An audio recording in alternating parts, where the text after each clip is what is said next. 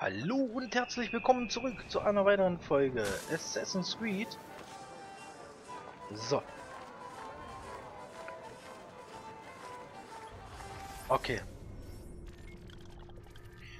Ich bin am überlegen. Kommt, das ist jetzt das letzte Grab und dann haben wir eben mal ein paar Folgen was anderes gemacht.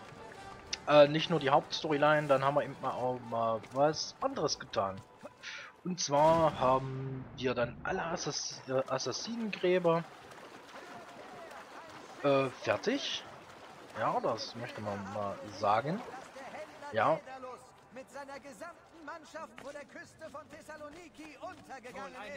Ja, ähm, gestern in der Folge habe ich eigentlich gedacht, dass es nicht so lange dauert, aber was wir machen. Wenn es nicht passt, dann passt es halt nicht, ja. Ähm. Nur Momento, das ist oben, oben auf, äh, oben drauf. Hm? Dann sing mal in Ruhe. Ich äh, lauf mal hier rum.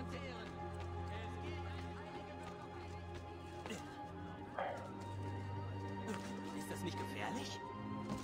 Ähm, ja. Ich weiß gar nicht, wo wir hier hochkommen. Kommen wir hier hoch?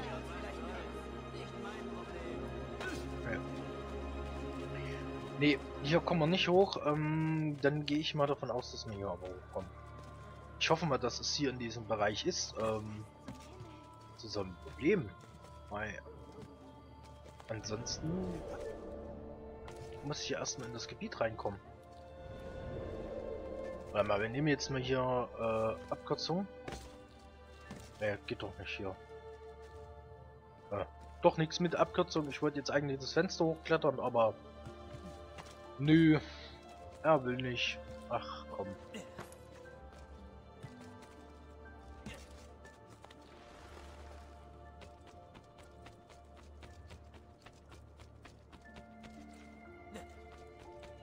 Bitte, bitte, bitte. Lass es hier sein. Jawohl, da ist es.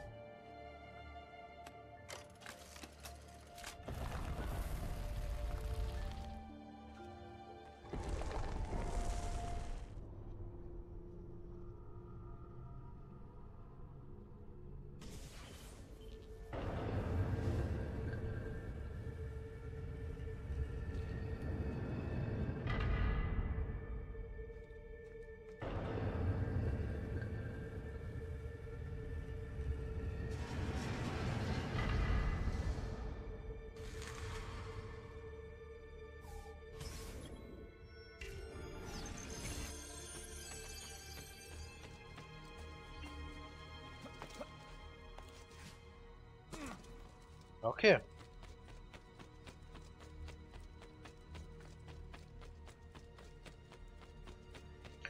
Das äh, wird hier noch nicht alles gewesen sein.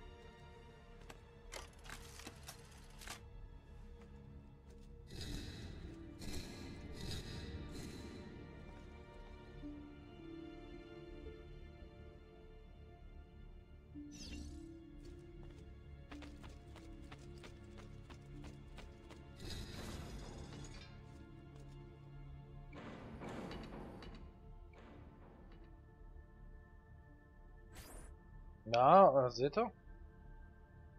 Da geht es nämlich schon los.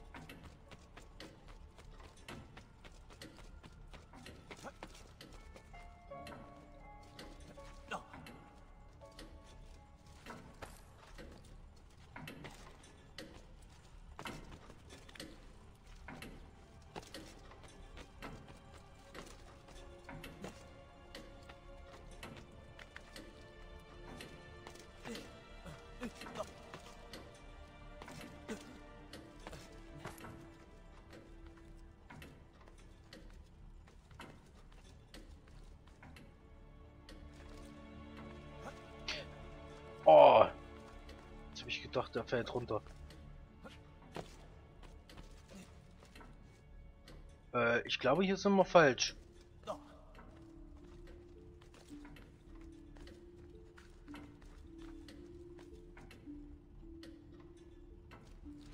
Ja. Schade. Ähm... Da hat mir das doch aber auch angezeigt, oder?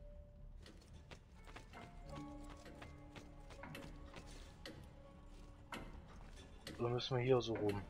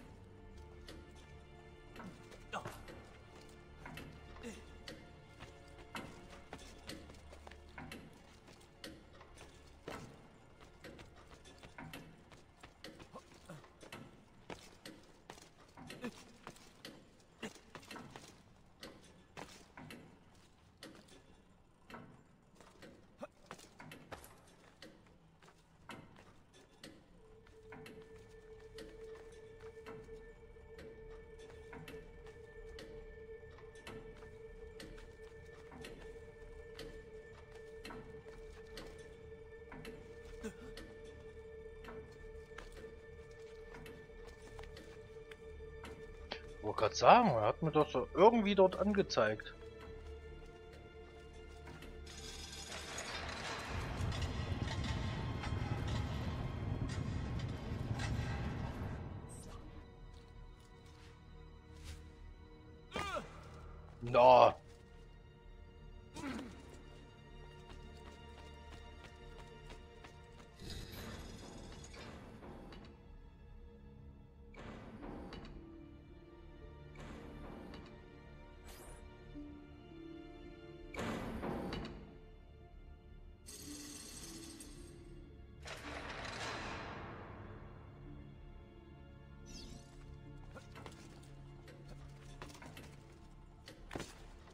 Hier schon mal nicht hoch.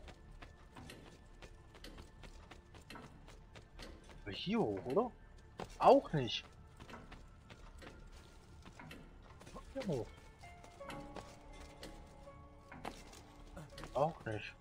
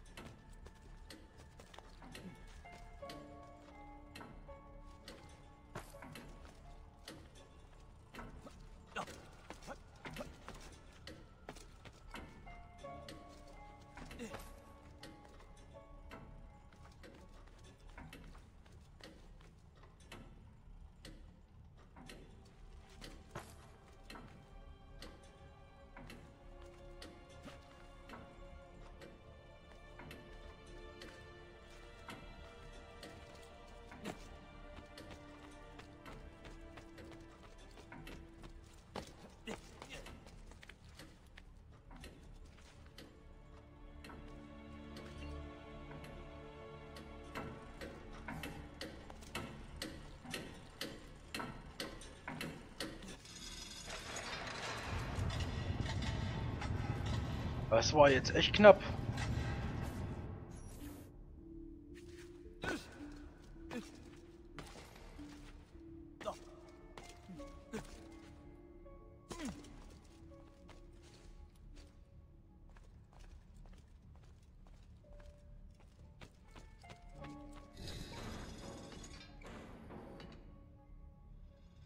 Da hoch, rum. Hier hinten rum. Hier hoch. Boah. Dann darüber, da hoch.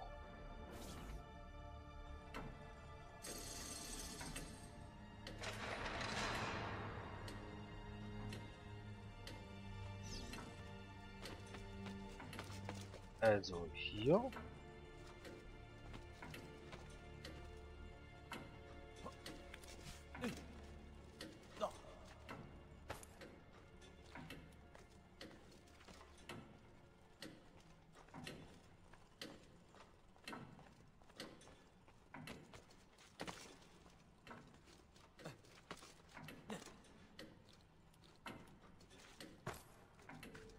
Ah, das TikTok, das macht einen total, äh, ja, im Kopf.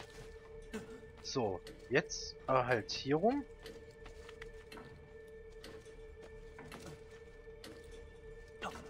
Hier hoch.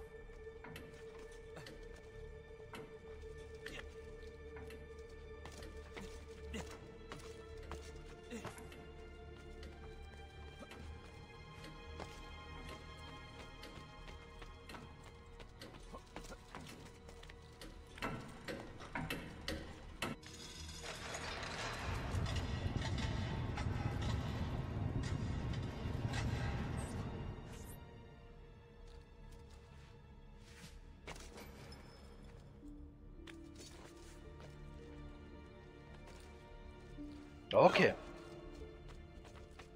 So. Dann bleibt nur noch äh, die letzte Aufgabe. So, da hoch, da rüber. Okay, und dann da hoch. Und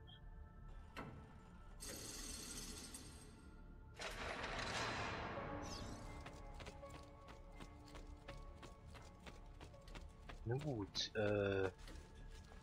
Hier hoch?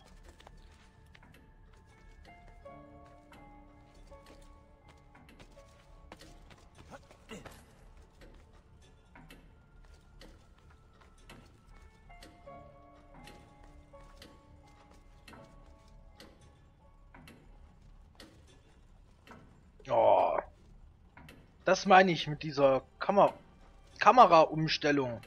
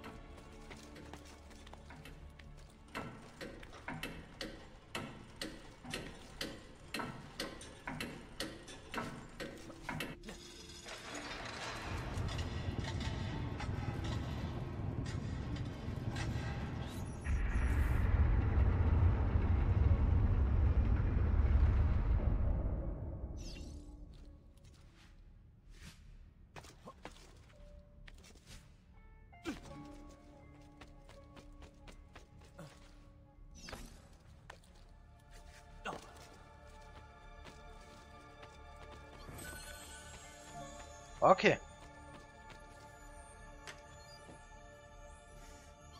Aber Leute, es ist das letzte Grab gewesen. Juhu. Dann können wir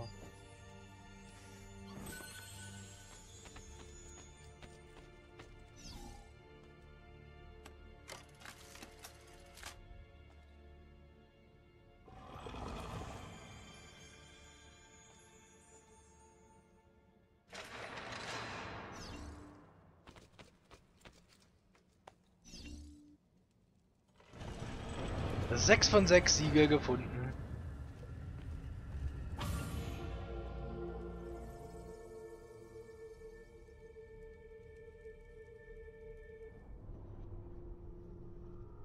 So.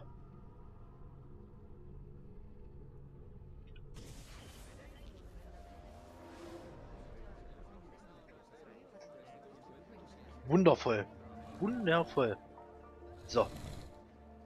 Gräber sind jetzt weg. Ähm, Codex-Seiten haben wir jetzt auch erstmal nicht mehr. Hier, Forli ist auch abgegrast, was Codex-Seiten angeht. Ähm, Flo. Eigentlich, ähm, ja, Florenz. Aber da müssen wir sowieso noch mal hin, weil da sowieso nicht alles aufgedeckt war. Aber Aber dazu später. Wir machen erstmal hier weiter und da läuft das schon. So, auf zur Mission.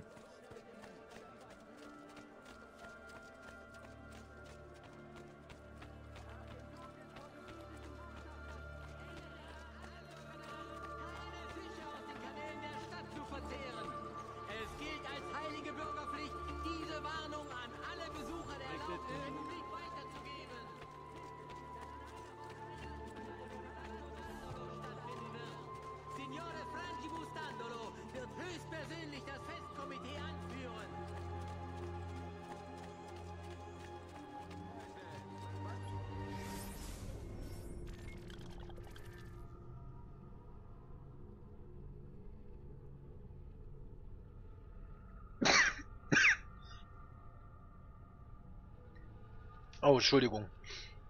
Ah, es, es sollte echt nicht so mein... es ist wirklich, ähm...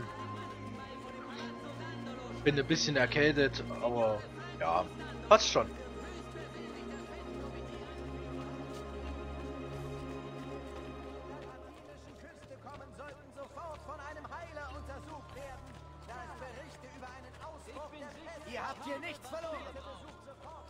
Äh, ich will auch nicht zu euch, also... So, wir müssen... ein Stück weit laufen, ja.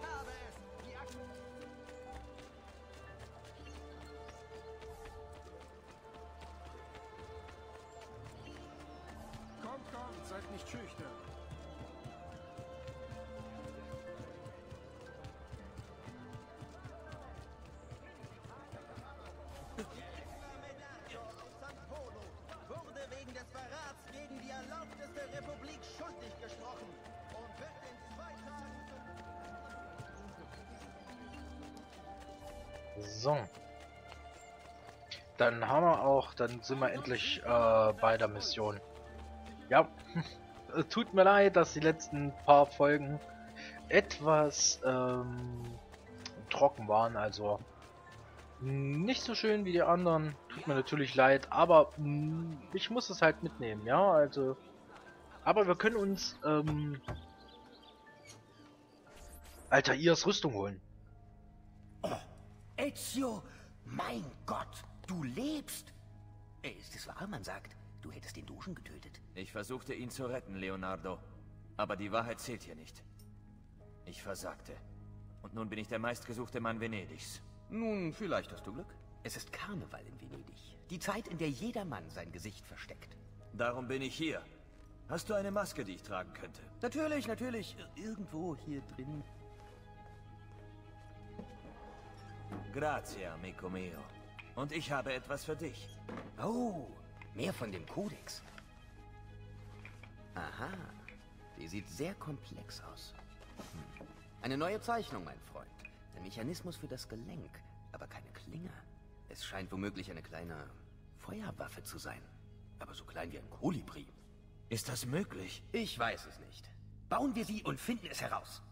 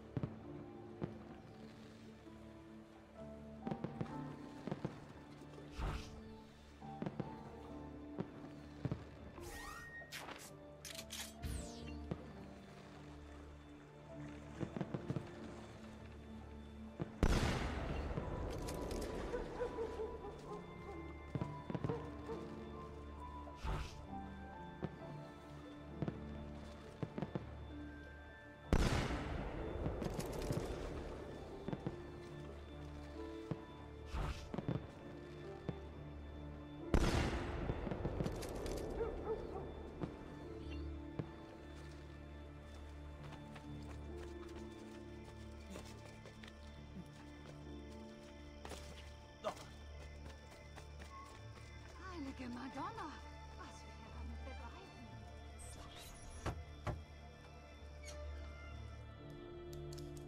Du hast mir sehr geholfen, Bruder. Aber gerne. Doch sicher bist du nicht zurückgekommen, um mit neuen Spielzeugen zu gehen. Geht es um diesen schrecklichen Dogen, der eingesetzt wurde? Marco Barbarigo? Dann wirst du mit deinem Freund Antonio sprechen müssen. Ich habe ihn in letzter Zeit häufiger bei gemeinsamen Freunden gesehen. Dort würde ich ihn suchen. Im Bezirk Dorsoduro. Im Süden. Frag nach Schwester Theodora. Schwester? Naja, irgendwie schon. Ja, Schwester. Und Ezio, du darfst hier heute auf keinen Fall Waffen tragen. Grazie, Leonardo. Jetzt wegen der Maske.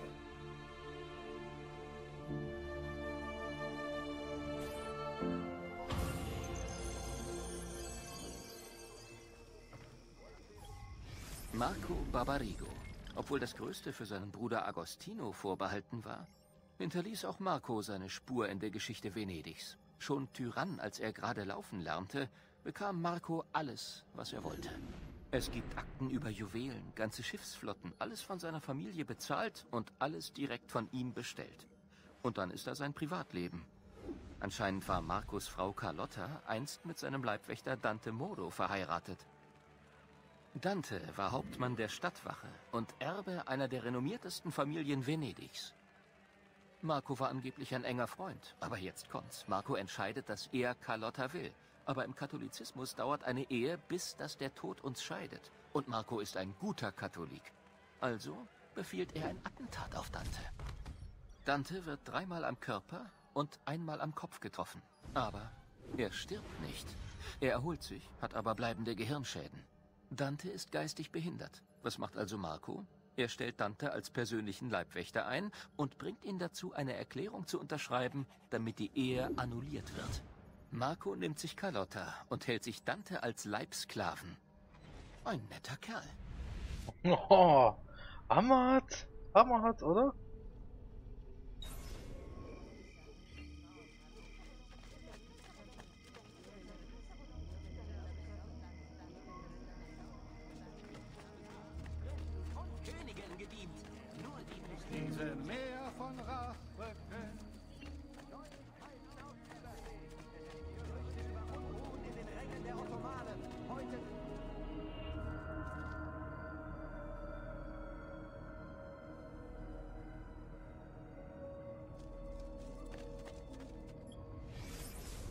So, wo müssen wir denn jetzt hin?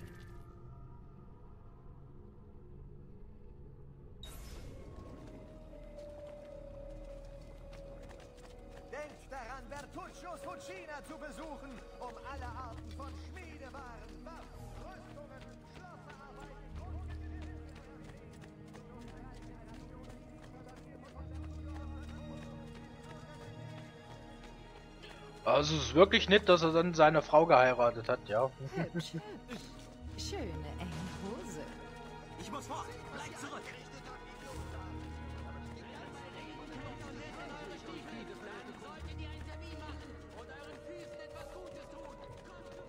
Verehrte Kunden, ihr wisst, ich habe nur das... Was sage mal.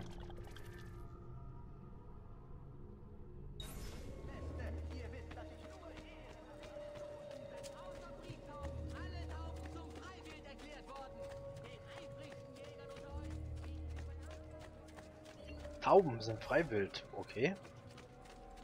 Ja gut, kann ich mir gut vorstellen zu der Zeit, ja, da war... Ja, Tauben werden ja nicht umsonst äh, Ratten der Lüfte genannt. Da kann ich mir das schon vorstellen, ja.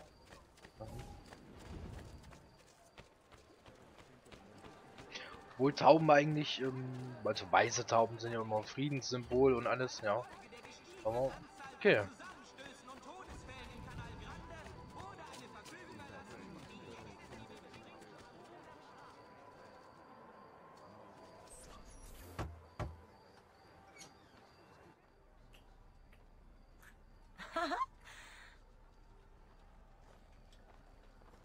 Antonio, wir müssen reden.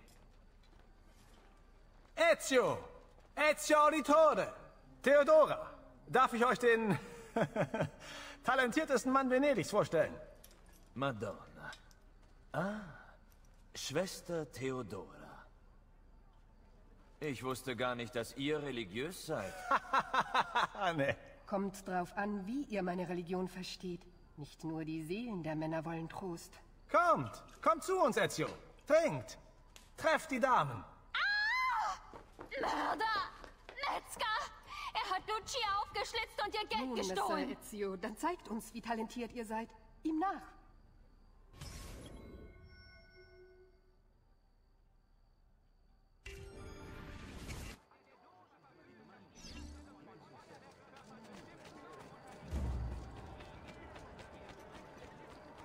Komm nicht näher, oder ich schlitze dich auf.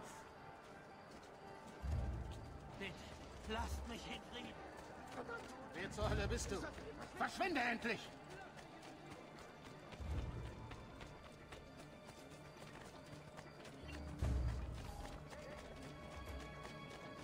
Bleib zurück, oder ich töte sie. Ich schwöre es. War nicht meine Schuld. Sie hat mich ausgelacht. Sie hat mich dazu getrieben. Und noch mehr Blut wird deine Hände besudeln. Was bist du? Irgend so ein verdammter Wohltäter? Lass mich endlich!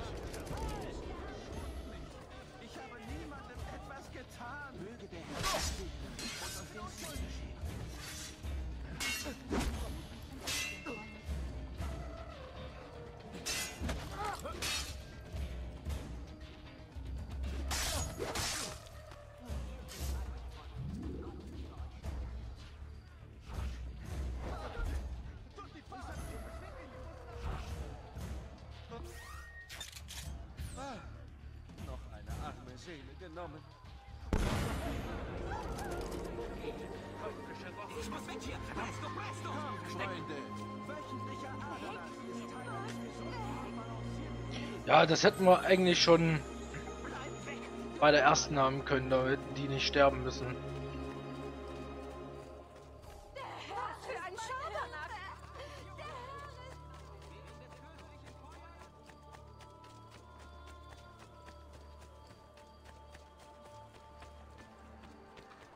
Okay, wie es weitergeht, ähm, erfahrt ihr dann in der nächsten Folge. Macht's gut, ciao, ciao.